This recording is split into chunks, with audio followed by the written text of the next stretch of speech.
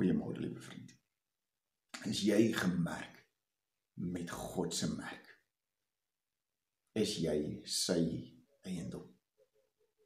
In Openbaring 4 kry ons 'n prentjie van vier engele wat op die vier hoeke van die aarde staan en hulle moet die vier winde vashou. Hierdie vier winde staan is gereed om oor die aarde te begin waai en geweldige verwoesting en lyding en krisisse te bring oral waar dit gaan. Maar daar staan stem sê vir hierdie vier engele, julle moet vashou totdat ons die dienaars van God gemerk het met sy seël. En hulle bevestig dit as sy eiendom.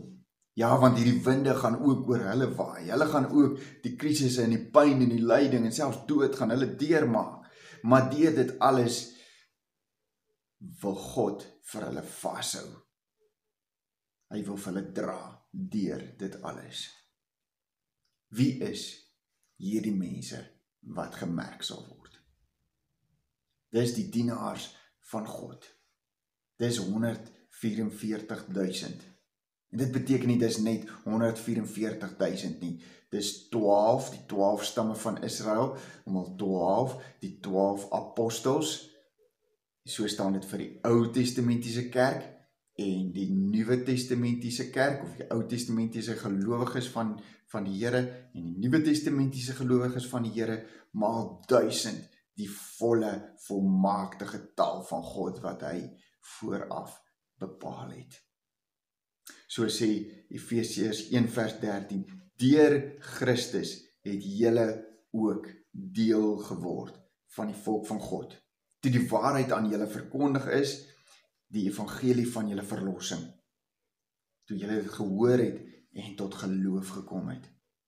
In Christus het die Heilige Gees wat deur God beloof is, julle as eiendom van God beseël.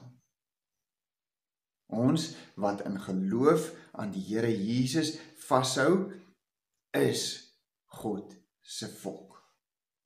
En is deur die die Heilige Gees gemerk, beseël as God se eiendom. En wanneer God se winde beginne waai ook oor ons, dan sal hy ons vashou as sy eiendom. Kom ons bid. Here, daar is soveel dinge wat gebeur en baie keer voel ons weerloos.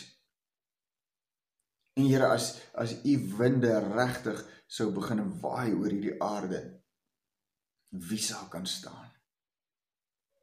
En baie keer voel ons ook selfs in ons geloof of ons wankel, ons voel nie so sterk nie.